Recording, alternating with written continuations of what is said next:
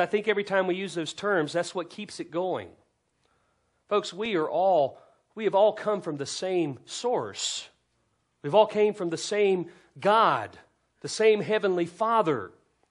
And this, again, is another aspect of partiality.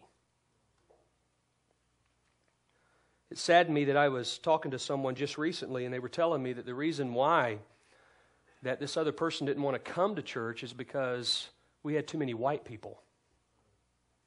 And I told her, I said, Well, why don't you just tell him to come, and that'll be one less. I said, That kind of stuff bothers me. I don't know if it bothers you, but it should.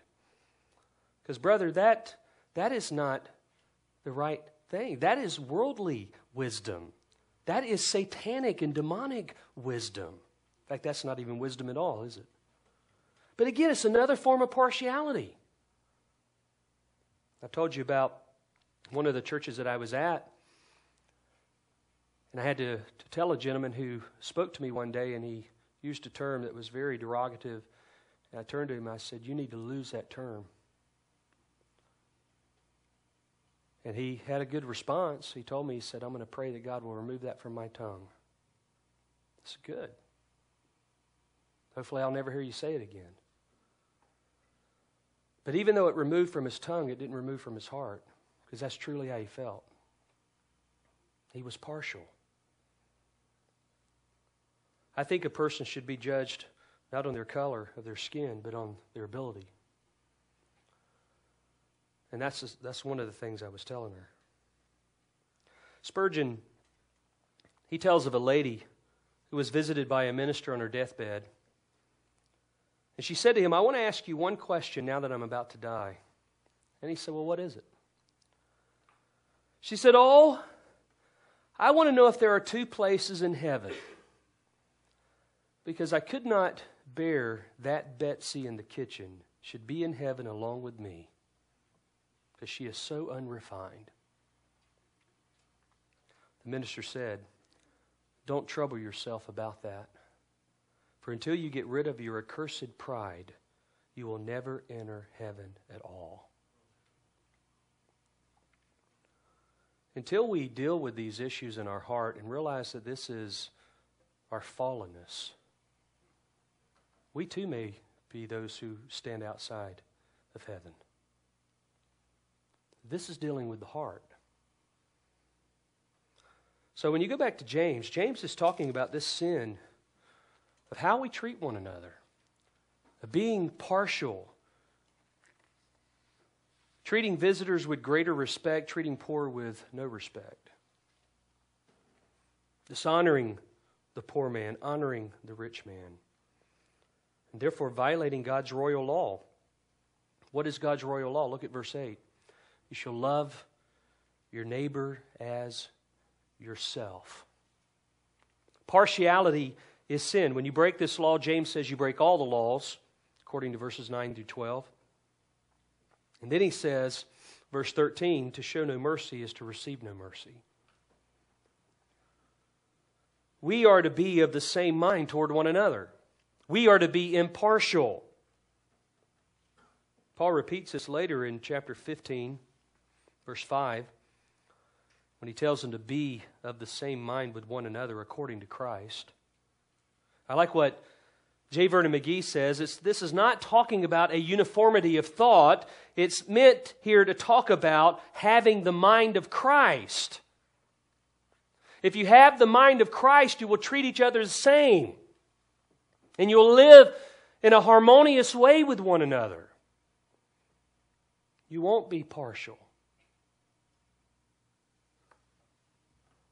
Even Paul's closing words to the Corinthians, 2 Corinthians 13 11, he says, Finally, brethren, rejoice, be made complete, be comforted, be like minded. Be like minded, be harmonious. So, listen, do you have the mind of Christ? Do you respond to your brother or sister or to a stranger with impartiality? James is actually saying that the legitimacy of your faith is revealed in how you treat others and whether you are impartial or not. So, beloved, as we bring this to a close, I want to just encourage you to examine yourself tonight. You might not have had to deal with something like this before, and maybe the Holy Spirit is wanting you to deal with it now, if that is an issue in your heart. How do you treat one another? You treat everybody the same? Yeah, there are a lot of people in our church. There are a lot of people that are hurting. And the only way you would know that would be to talk to them. And not just once or twice or three times, but a lot of times, because usually people don't reveal everything in the first couple conversations. How are you treating other believers? How are you treating one another here at Changed by Grace? Are you bearing one another's burdens? Are you giving preference to one another? Are you praying for one another? Are you honoring one another in that manner by putting others first and living in harmony with them? I know from time to time we'll struggle in relationships, but what should be at the heart of our relationships is obedience to Christ, obedience to Him, a desire to honor Him, a desire not to take this faith that we have and be impartial with it and say, listen, I'm only going to talk to a select group of people, I'm only going to share it with a few people, only certain people that fit this criteria.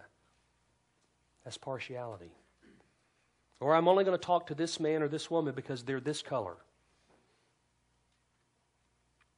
I mean, you know, I, I was walking in the neighborhood near where Aaron lives. And I remember meeting a lady out there. This is about six, seven years ago. And she was a black woman. And you know what she told me? She said, I went to your church and somebody told me not to come back. I went, What? I mean, we're usually trying to get people to church and not tell them not to come back, right? Said, that's what she said. Told me not to come back and wasn't due to anything she had done, it was due to the color of her skin.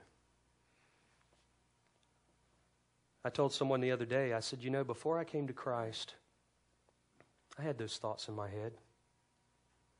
And I don't even know why. And the only thing I think of, number one, is depravity, depravity of the heart, but it's also the people that you hang around with, the influences. And whether we know it or not, I mean, just what 1 Corinthians says that bad company corrupts good morals. So, beloved, I want to encourage you treat everybody the same and love one another, submit to one another, be devoted to one another in brotherly love, give honor to one another by how you treat each other. If you've never surrendered your life to Christ, then you're then you're still in that you're still in your sin and you're still in that mindset. But let me say this, even though Christ can change you and transform you, unless you surrender that also to Christ, you can still be in that mindset. Charles Spurgeon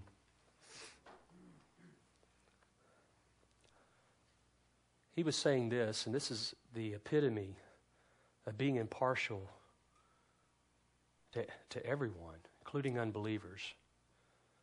And he was focusing our attention on the gospel. And he says, Oh, if the damned in hell could come to earth, they would let you know what solemn work it is to hear the gospel. Think not that you can hear the gospel without having your salvation or damnation affected thereby. So he says the most important question concerning any man living is this Is he a saved soul or not? Not whether he is rich or well off, whether he's white or black, whether he comes from a good living, a good family. Is he saved or lost? That's the issue. He says, Is he a child of God or an heir of wrath. So, have you been delivered from the love of sin? Have you been rescued from the habit of sin? And have you been set free from the desire to sin? If you haven't, then you haven't been saved. And I want to call you right now to pray, and I want to call you to surrender your life to Christ and embrace Him and let Him take away the prejudices of our heart.